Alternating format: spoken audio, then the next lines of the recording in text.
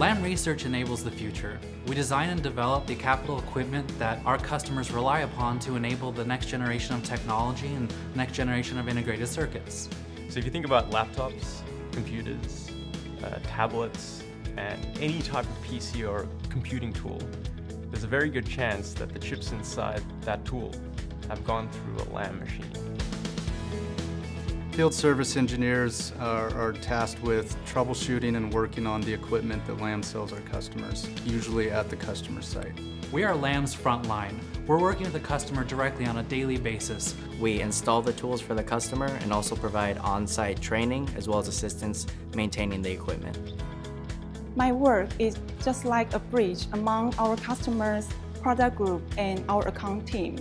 Working with the customer, you get to see the issues firsthand. You get to see issues as they happen, uh, report them back to engineering and be part of the fix. It's always changing. There's always new challenges to be had. Working in the field is very fast-paced. Uh, it's very exciting. No day is ever the same. You're looking at all these different tools with all these different robots, and there's just a lot going on. It's a lot more exciting to work in a field because it's not the standard 9 to 5 job.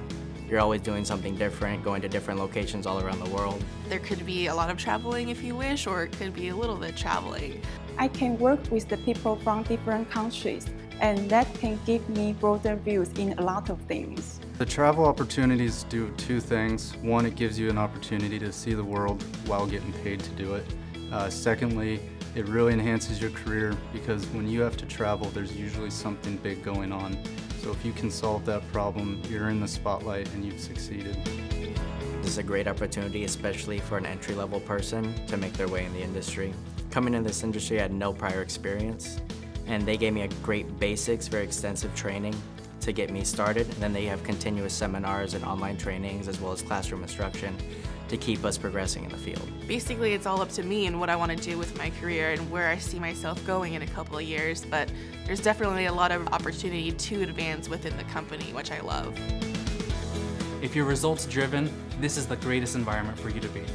Being a field service engineer is a great opportunity for someone that's looking for challenges, someone that likes to travel, someone that likes working with great people, and someone that likes to come up with solutions that will have a direct impact on the company.